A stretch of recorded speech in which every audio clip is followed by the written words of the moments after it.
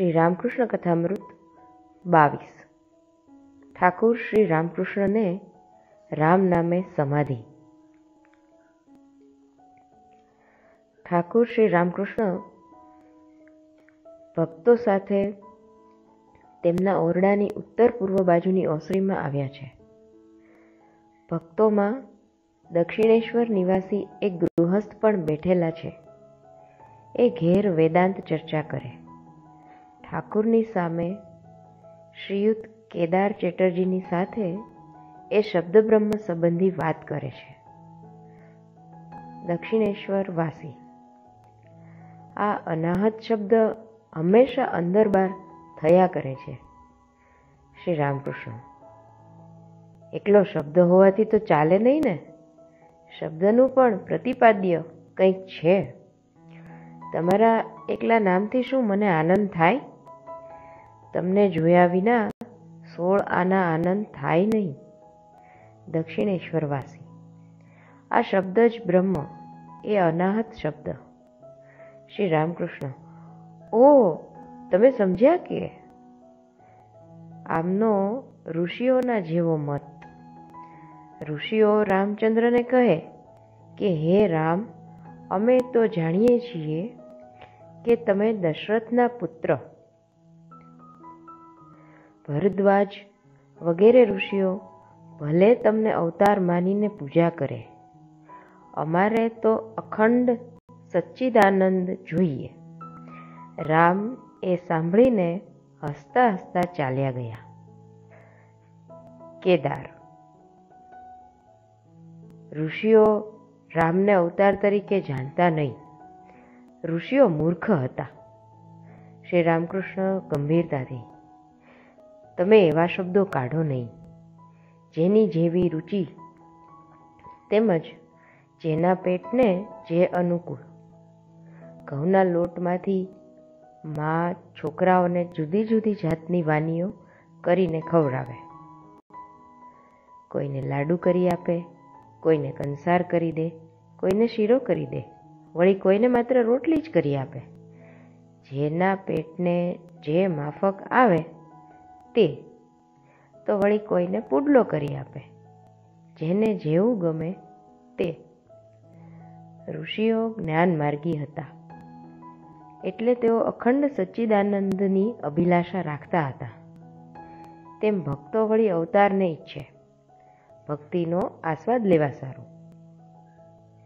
ભગવાનના દર્શન થયે મનનો અંધકાર દૂર થાય.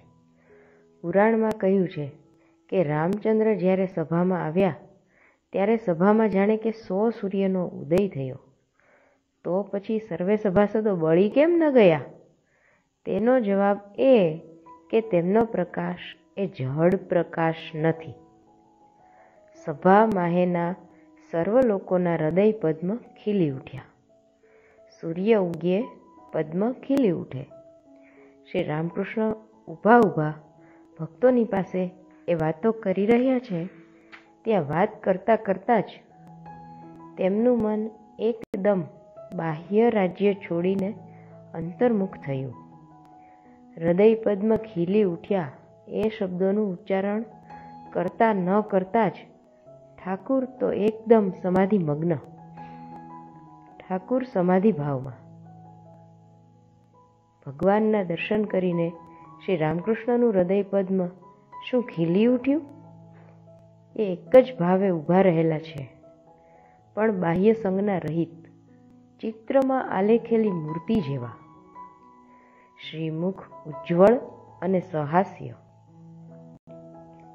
ભક્તો કોઈ કોઈ ઊભેલા, કોઈ બેઠેલા. બધાય ચૂપ. એક નજરે આ અદ્ભુત પ્રેમ રાજ્યની છબી, આ અપૂર્વ સમાધિ ચિત્ર સૌ નિહાળી રહ્યા છે. કેટલીય વાર પછી સમાધિ ઉતરી. ઠાકુર દીર્ઘ નિશ્વાસ મૂકીને રામ નામનું વારે વારે ઉચ્ચારણ કરી રહ્યા છે.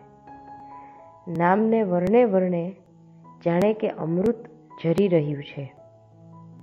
ઠાકુર બેઠા. ભક્તો ચારે બાજુએ બેસીને એક નજરે તેમને જોયા કરે છે.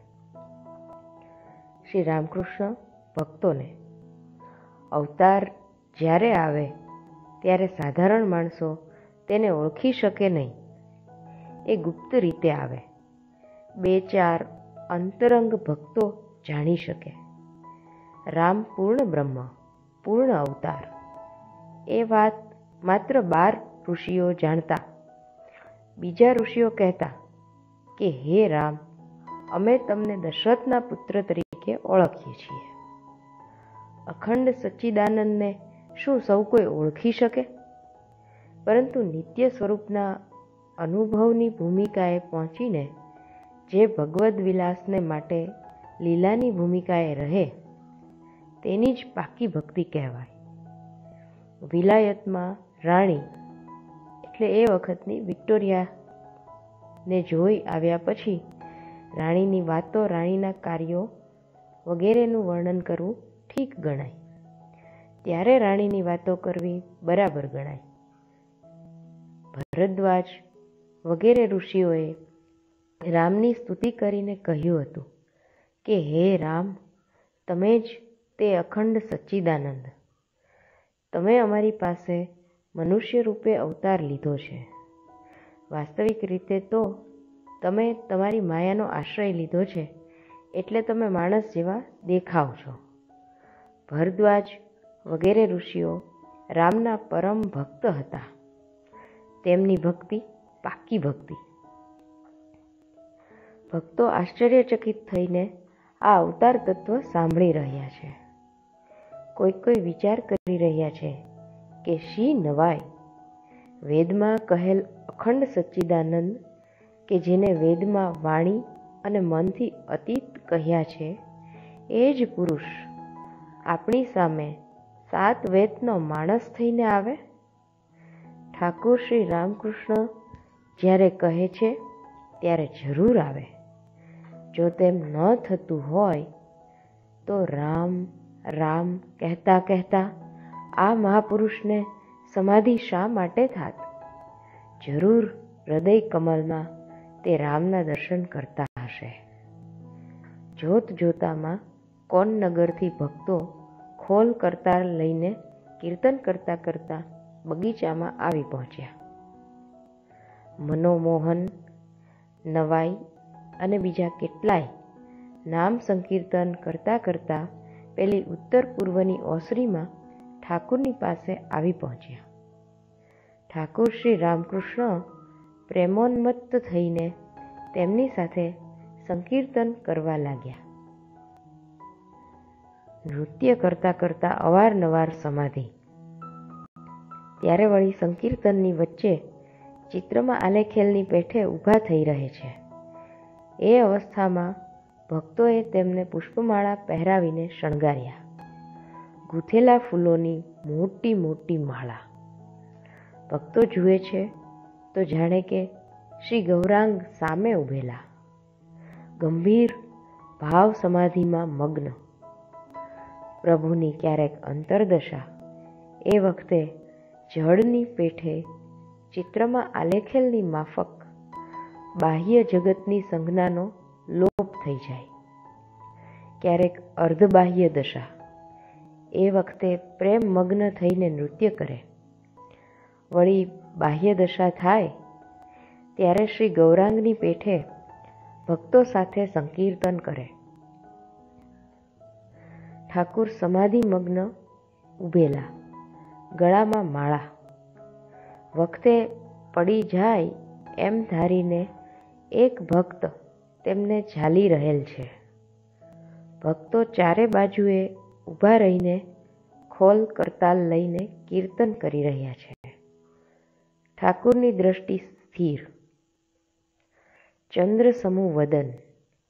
પ્રેમાનુરંજિત નયન. ઠાકુર પશ્ચિમાભિમુખ. ભક્તો આ આનંદ મૂર્તિ ઘણી વાર સુધી જોયા કરે છે. આખરે સમાધિ ભંગ થઈ. સમય પણ થઈ ગયો છે.